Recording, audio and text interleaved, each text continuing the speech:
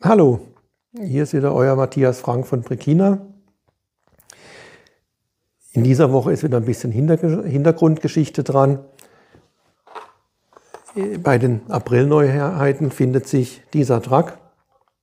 Das ist ein Volvo F89 von Ed Shirley. Äh, was verbirgt sich dahinter? Ist es eine normale Spedition oder ist es was Besonderes? Ganz klar, es ist was Besonderes. Ed Shirley ist 1948 geboren. Äh, er war Lkw-Fahrer und äh, in seiner Freizeit faszinierten ihn äh, Theater, Kultur, Konzerte und so weiter. Und zusammen mit Roy Lamb, einem professionellen Licht- und Tontechniker, gründet, verband er sein Hobby und seinen, seinen Beruf und gründete das, das Unternehmen Ed Shirley Trucking, EST, mit dem Zweck, oder es sollte nur ein einziges Gut transportiert werden bei ihm. Und das ist das Equipment von, äh, bei Rockkonzerten. Daraufhin hat er sich auf, hat er sich spezialisiert und äh, er war der Erste, der das äh, verbunden hat. Seine Lkw-Fahrer waren gleichzeitig auch äh, äh, sehr, äh, sehr ausgebildet im Umgang mit Licht und Ton. Und äh, es war nicht so wie bisher, dass eben der Lkw-Fahrer das Zeug brachte und dann verschwand. Nee, seine Fahrer haben gleichzeitig beim Aufbau geholfen und deswegen wuchs sein Unternehmen rasend. Das sprach sie sofort herum. Bereits drei Jahre nach der Firmengründung äh, hatte er die ganz Großen an der Angel. 1977 bereits äh, war er für Peter Gabriel unterwegs, hat die komplette Peter Gabriel Tour gestemmt mit dem kompletten Equipment. Seine Firma wuchs und wuchs und wuchs. Irgendwann hat er eine zweite Firma gegründet, äh, den Bühnenbau. Er hat dann alles aus einer Hand geboten, Bühnenbau, Transport, äh, die Installationen, alles komplett selbst gemacht. Äh, er hat alle großen Touren gefahren, die Rolling Stones, Bruce Springsteen, Madonna. Er, er war für Queen immer unterwegs, Brian May war bis zum Tod von Ed Shirley eng mit ihm befreundet. Äh, sie hatten zum Beispiel 1985 äh, bereits äh, die Bühne gebaut für das große Live Aid Konzert, was Bob Geldof damals organisiert hatte. Firma wuchs und wuchs.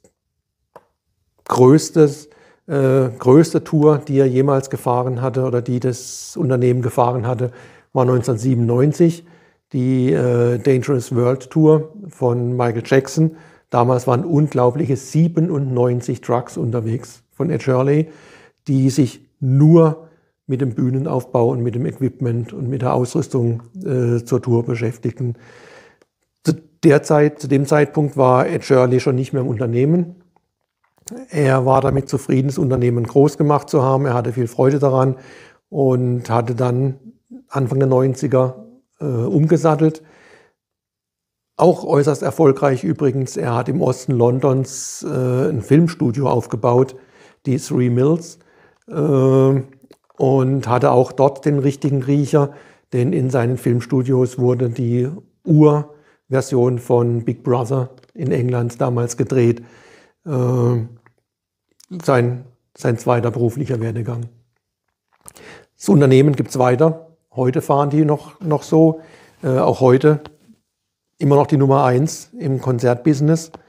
Äh, wer bei den Rolling Stones oder bei den Großen äh, in München, Dortmund oder wo auch immer war und auf die LKWs geachtet haben, hatte, dem sind die bestimmt schon untergekommen. Äh, Slogan, ganz witzig, typisch im äh, passend zum Rock'n'Roll. Slogan war schon seit Anfang an You rock, we roll. Äh, auch das in meinen Augen völlig grausame Design, lila und gelb, äh, hatten sie mal in einem Interview gesagt, das ist ganz einfach entstanden. Äh, sie mussten Mitte der 70er Jahre schnell entscheiden, welche Farbe die Lkw bekommen sollten. Und dann lag von der Mutter von Ed Shirley in der Küche eine alte Einkaufstüte rum von irgendeinem x-beliebigen Supermarkt. Und da waren eben äh, diese lila und gelben Streifen drauf. Dann haben sie die der Einfachheit halt einfach übernommen. Und äh, so ist das bis heute gültige gelb-lila Design entstanden. Wie gesagt, Modell ist bei den April-Neuheiten dabei. Ähm, ich hoffe, Sie finden das Modell genauso interessant wie wir und äh, haben sich ein bisschen gefreut, ein bisschen was aus dem Hintergrund zu diesem Modell zu erfahren. Ich wünsche Ihnen eine schöne Woche. Bis demnächst.